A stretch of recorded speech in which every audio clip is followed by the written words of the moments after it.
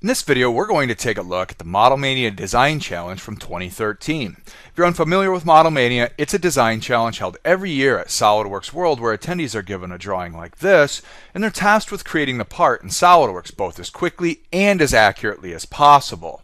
Now, if that wasn't enough, when they're finished, they're given an additional drawing with a series of changes and tasks to perform on the part.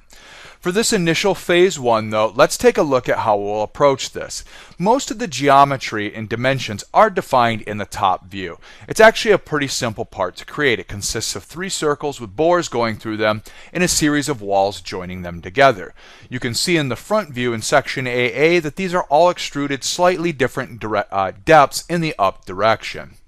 Finally, do notice that a material has been specified over in the notes section of this drawing. So let's dive in and let's start with that top view. We're going to leverage uh, a sketch that contains all the geometry and use contour selection when we go ahead and create the features for this part. We've discussed this in great detail in many of the videos in this series. So I'm going to go ahead and just start sketching out this geometry by typing in the values where needed. In this case, it's just a series of circles which have pretty simple dimensions on them. 15, 20, and then you can see I've already defined some of the other dimensions.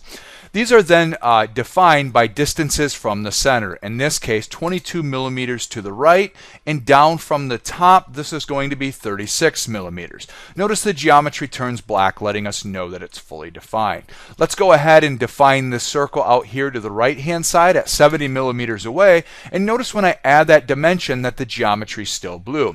That's because we didn't do anything to establish that this circle is always horizontal to this one. So I'm going to select the two center points and choose horizontal from the quick pop-up menu. So that's all fully defined. There's also a series of arcs that joins this together. I'm going to do this by creating three-point arcs from one circle to the next and approximately drawing it in place. So we can also put the radius in there while we're creating this if we want. So just by typing that. So again, this is 80 millimeters. But notice when I do this, notice what's happened. None of these were created tangent to the circles that they're attached to. So we're going to go back and we're going to add those tangency relationships at each one of those intersections between these. So I'm going to just go ahead and window select those. And we didn't add a radius here, so I'll add that now. And again, let's just add these tangencies. And I'm going to just move these uh, radius dimensions so that they're a little bit easier to see. Now notice I did define each one of those individually. That's how they were called out on the drawing. And the last thing we need to do is I'm going to go ahead and do this wall offset while we're at this too of 3 millimeters. So I'm going to select any geometry that I want to add in this case. And notice when I select all these, I just go ahead and right click and add the geometry like so. Sometimes they may offset in a different direction depending on the order in which you created those. But in this case, we were able to do that all with one offset feature. Now you're probably thinking I'll need to go through and trim all this geometry up, but that's actually not necessary. Let's go ahead and close this sketch and start creating some of these extrusions. I'm going to go ahead and select this circle and notice what happens when I do this. I'm going to specify the appropriate distance. It created the region up to there. All I need to do is select this additional region. In addition, if you want to make this simple, just go ahead and select the circle itself and then choose the circle in the center to then remove remove that from that region. So there's really two different approaches you can take when doing this. I'm going to go ahead and press OK. When I do this, you'll notice that a solid bodies folder appears in the feature manager tree. Because these bodies are disjointed, we're actually working in a multi-body part file. That's actually not that important for what we're doing right now, but it will play a role in what we're doing later on with some of the changes. Now what I want to do is start joining this back together. In this case, I want to create the walls on the outside. To do this, I'm just going to go into the Feature Manager tree and reselect that sketch we created and choose to create an extrusion from it again. And like before, I'm just going to choose the appropriate regions that I want. In this case, the three outside wall regions. Now their distance is different. It's 12 millimeters, so I'll enter that in. And notice that Merge Results is automatically checked. This is always the case by default. In addition, the feature scope by default default will try to merge whatever it can. In this case, it will end up being all three bodies. When I do that, the multi-bodies folder goes away. So adding that feature joined those back together into a single uh, body part. Finally, for the material on the bottom, you guessed it, we're going to go back in and choose that same sketch, and we're just going to select the regions on the inside. Again, they do have a different depth, in this case 3 millimeters. Finally, there's a series of 1.5 millimeter fillets that we want to add, and to do this, I'm going to select these faces on the inside of these pockets. Remember, selecting faces allows you to just select that face and then it'll automatically capture all the edges of that face and because of tangent propagation, any additional edges that might be tangent. We'll do the same thing on the other side. I'm going to go ahead and grab these three faces here and then I'm just going to right click to confirm. So our part's almost done, but there's one critical feature we need to add yet, and that's the material that was defined for this part, which was plain carbon steel. To do this, we simply right-click on the material node in the feature manager tree. If the material you need is in your favorites, you can select it here. If it's not, you can go into the entire library that's available. When you're working with a library, just choose the appropriate material type, in this case steel, find the material you're looking for, and SOLIDWORKS will automatically apply the appropriate appearance and crosshatch in a drawing, but more importantly, the physical properties of the material, which define how strong it is, as well as things such as its density. So I've gone ahead and applied the material. When I exit, you can see that it's graphically changed, but if I go to evaluate and go to mass properties, we also get an accurate weight of this part as well. So we've created phase one. At this point, we would get an additional drawing for phase two. When we look at the phase two drawing, there's several changes that have been made to those original cylindrical bosses we created. Clearly seen in the front view in section AA, we can see that the center one has been shifted down 4 millimeters and the outside right cylindrical body has been shifted down 8 millimeters. In addition, notice in this section view that the bottom surface that we had created is no longer there and instead has been added as a top surface. Finally, there have been some subtle changes made to the fillets. Additionally, we do need to perform a simulation on this part by fixing the center cylindrical face and applying a load to the outside right face. So let's go into SOLIDWORKS and look at how we can tackle this. Let's start with the design changes themselves. First, we want to make those adjustments to those cylindrical bodies. I'm going to go ahead and roll my feature uh, my rollback bar back to when we created these three cylindrical bodies. If you remember, I made a specific point to mention that we were working with multi-body at this point. This is great because it allows us to, instead of deleting features and adding new ones and applying offsets, we can just do a quick search in our command search for the move copy bodies command. Likewise, you could have it on your toolbar already. I just don't. Then we can select each body and just make a quick adjustment to it. In this case, this one is moved down 4 millimeters. So notice I just grab the arrow, drag it down, snap it to the ruler, and press OK. But I had mentioned, what if this was a single body? Move bodies will move the entire body. Move face, oops, not intersect, let me hit escape out of there.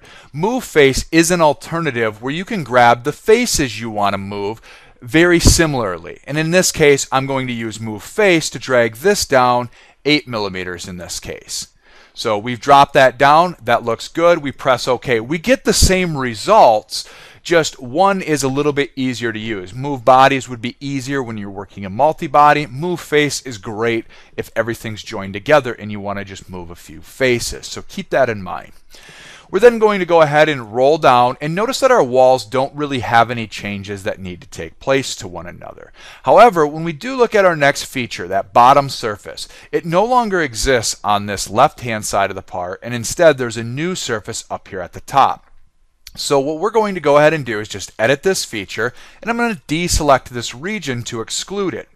Then I'm going to go into that feature and reselect that initial sketch and I'm going to choose to create an extrusion using that same region. Now we want to get the extrusion here just right. An easy way to do this is with the from option. I'm going to choose from vertex and I'm going to go ahead and choose a vertex up at the top. We're going to then use the direction of blind and set that down into the part. And very quickly, we've just gone and made that adjustment that way. Now, because we did delete that bottom surface face, some of the faces we selected for this fillet no longer exist and they'll need to be redefined. So we're just going to simply come in here and reselect those. Additionally, you might notice on the drawing that these additional edges have been added to the fillets. This is one of the things when you actually do Model Mania when we mention check for accuracy. Missing a fillet like that could be the difference between winning and losing the competition. Now you'll notice that those faces that are no longer there are still highlighted. You could delete them out of the property manager here, but simply pressing OK, SOLIDWORKS will let us know that there are some missing entities. Pressing yes will automatically remove these. So kind of saves us th that step there. So we've made all the physical changes to the part here pretty easily using a few unique features, move copy bodies and move face. What we need to do now is perform a simulation. And to do this, I'm just going to go ahead and use Simulation Express because it's found in every version of SOLIDWORKS. Likewise, you could use SOLIDWORKS Simulation, which provides many more options than what we'll see here. Simulation Express is a wizard's format that kind of walks you through the process. The first thing we need to do is define a fixture. In Simulation Express, we could only add a fixed type fixture. If we were using simulation, we could use things such as a hinged fixture or sliding face, different things like that. But this serves our needs perfectly in this case. We're going to choose that inside cylindrical body and press OK. We could add more if we wanted to at this point, but let's move on to adding a force. Here we have the choice between a force or a pressure. Again, in SOLIDWORKS simulation, you could add different types of forces. In this case, we're going to go ahead and just apply a force to this outside cylindrical face. Notice the direction of the arrows, however, and on the drawing, the load direction is pointing straight down. So we need to fix this in here by changing to using the selected direction option. We then need to choose some form of reference geometry. Conveniently, our front plane is uh, normal to the direction we want to apply that force, so we'll simply choose that. And then we'll enter the load down here of 500 newtons. We'll then go ahead and press OK. Again, we could add more forces if we wanted, but we don't need to. And here we would have an opportunity to specify the material should we or had we not done that before. Notice because we did it before, it automatically captures a lot of the important information that we need. So specifying the material is really important because it's not just used for the looks of the part, the weight, or the cross section, but it's also used in simulation. Then all we need to do is choose to run the simulation and really quickly SOLIDWORKS will come back with a series of results letting us know how those forces act on the part. We need to just verify, is this what we anticipated? Yes. If it wasn't, we could go back and make some changes. And then instantly we're given results. Notice here it gives us the uh, lowest factor of safety on our part, 3.09189. It may be some variance in there based on how tightly it was meshed automatically. But one of the things I really like here is we could actually look for weak spots in the design by entering an extremely high factor of safety and finding spots in our design that are lower than that. Additionally, we could also show the displacement on the part in this case. Here, we see this in scientific notation, but again, if we were using SOLIDWORKS simulation, we could customize this all we want. For example, using a floating point decimal. So there you have it. We've done the Model Mania Design Challenge from 2013. We made several changes to it and even performed a simulation at the end. If you're interested in learning more about Model Mania or more specifically SOLIDWORKS World, I invite you to check out the links below this video in YouTube or any of the links on the blog post where this is hosted.